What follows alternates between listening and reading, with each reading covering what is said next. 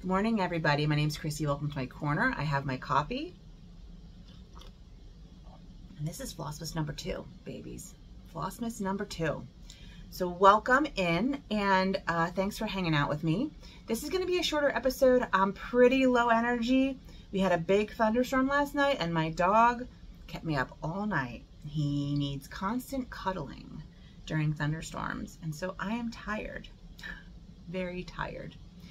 And uh, you'll notice that this video is also not edited and they will not be edited in the foreseeable future. My extra new cord came from my computer and my computer still did not turn on. So there is definitely something internal happening with the cord.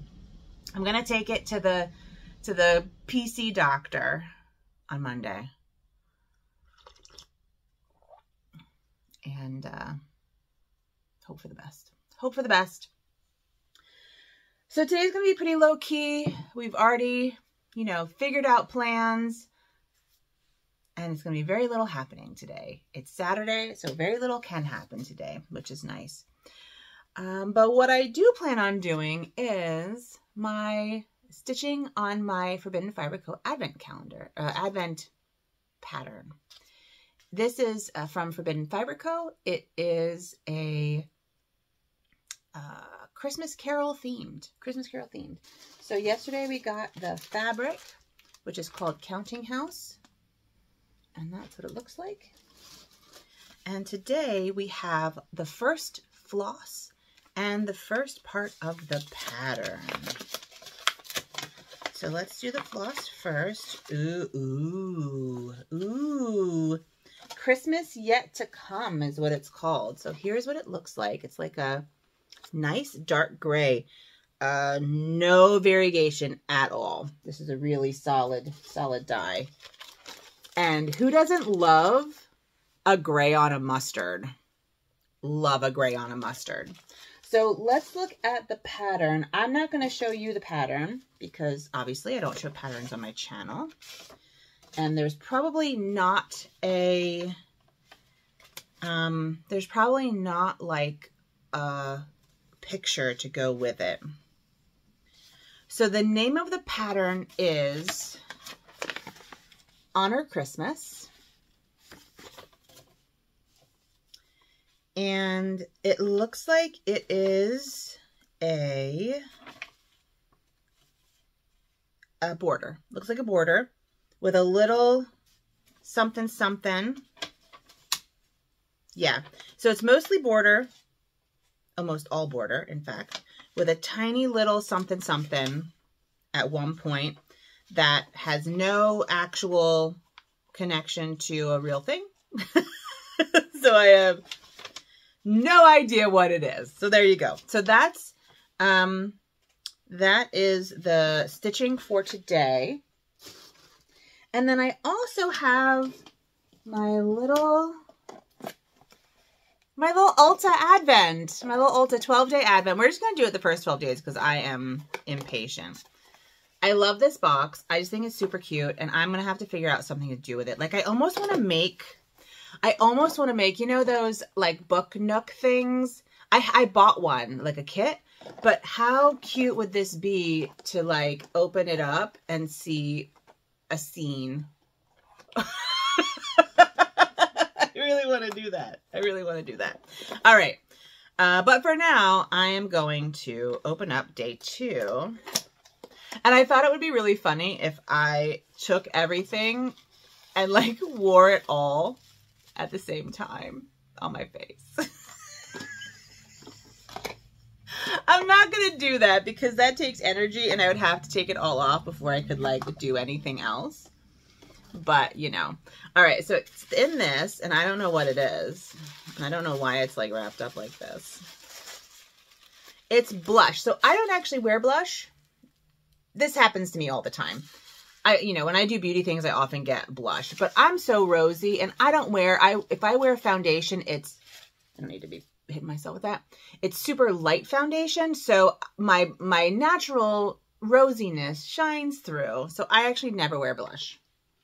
But this, I feel like blush with this um, from yesterday could make a really pretty eye, eye situation.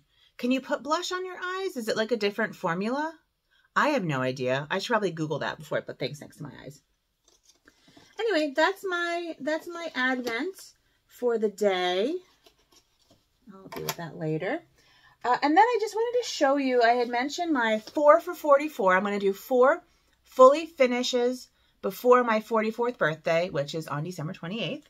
And my first one I mentioned is going to be a Biscornu, and it's this guy. So this guy I'm going to make into a Biscornu.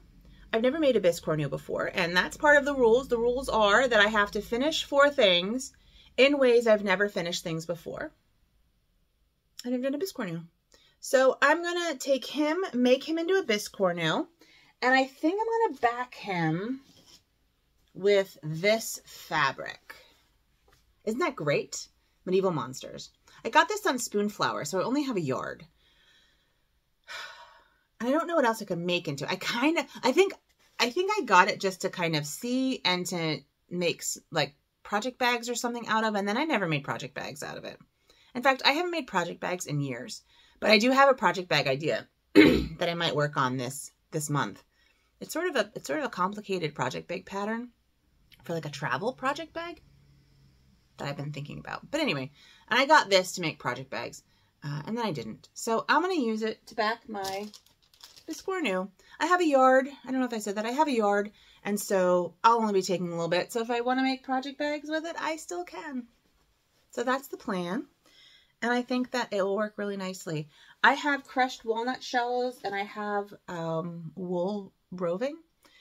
So wool roving is really good in like pin cushions because the lanolin from the wool, even the little bit of remaining that's on processed wool, actually coats the needles and prevents rust. So if you have if you're if you have wool, if you're like a spinner and you have like extra wool, uh, save it for pin cushions because it will help prevent your your needles from rusting. Fun fact. Um, I think that that might be all for today. Oh, I wanted to tell you. Oh, two things I want to tell you. Number one, I didn't bring them out with me, but my Flossmas giveaway from 2022, I still had all my international peeps to send out to. I sent those out yesterday morning before yesterday's video. I forgot to mention it yesterday, but those are in the mail. I have sent those out. It's only been 10 months. But I have sent those out 10 months late. So if you are an international, per, if you are someone international, Canada and the UK are I think the only two. Um, but I have five packages that are going international for folks who won my Flossmas giveaways last year. And I just had like a block, but now they're out. I still have two more packages to send out. I have a package to Joe, which is my stitched bird from last year, and that's going out this month. And then I also have an ornament for Danielle that I promised, and that's going out this month too. So those are being sent out in the near future after, you know, my semester is completely done and my computer is taken care of and stuff like that when I have time to think about going to the post office again. Yeah, so that's, I'm really proud of that. Uh, so, and I know this sounds really stupid, but I have this like anxiety around the post office for some reason, and I don't know why. I don't know why. So I'm really proud of myself that I got those out and that I don't have to think about them anymore. And they are out in the post office and out and ready to go. I also sent out my book uh, themed Stitchy Swap that uh, Heather, Link is my homeboy, organized. I sent that out yesterday too, so I need to take a picture of that receipt and send it to Heather so she knows that I sent it out on time. All right, uh, the other thing I want to talk about is yesterday I mentioned that I was doing a craft fair at my local arts council. And it was for a Wassail Fest, which is where businesses make wassail, which is a spiced apple cider. Uh, often has like pineapple juice and oranges and all different things in it. And there's a contest, obviously, because everything's a contest. And you don't win, you win bragging rights, essentially. You win bragging rights. so it's a really fun contest. But everyone come, everyone in town come People come from other towns to do, it's like the most fun thing that my town does. And I love it so much. So I'm on the Columbus Arts Council board and I, I said, why don't we do like a little craft fair in the Arts Council space during Wassail Fest? Uh, it's a small, you know, they get a small fee. It's a small fee. but they make a couple little a little money uh, for the Arts Council. Um, Santa's there. Santa was at the Arts Council, and so we had I think 10, 9 or ten vendors in the building, and it was amazing. There was so many people. Everyone did really well. I did really well. So now my my income from last night will pay for my fixed computer, hopefully. Um, yeah, so I it was really nice. It was good to talk to everybody. I saw people I hadn't seen in a while. I saw one of my student chicks. Okay, so I've been a college professor for eight years. And I, I love most of my students and they're, you know, I, I get really close with my students. But those first ones you have, like your first students when you get there, are always kind of special. And so I had coffee with one of them uh, a couple weeks ago. And another one came to the Arts Council, and it was so nice to see her. And I am just so thrilled that I'm just so so thrilled to see her. So I saw one of my one of my chicks. I saw other students. I saw colleagues and friends and stuff like that. So anyway, it was just a really joyful joyful evening, and I made a couple hundred bucks. That will hopefully pay for fixing my computer. So that's that's that. Um, okay, so this that's all I have, and um, I'm gonna stitch on this with my Forbidden Fiber Co. Christmas Yet to Come, and I will show you my stitching tomorrow. With all that, I want to wish you a happy Flossmas. I will see you tomorrow for Flossmas number three and another little gift. And uh, yeah, so take good care of yourselves and have a good one. Bye.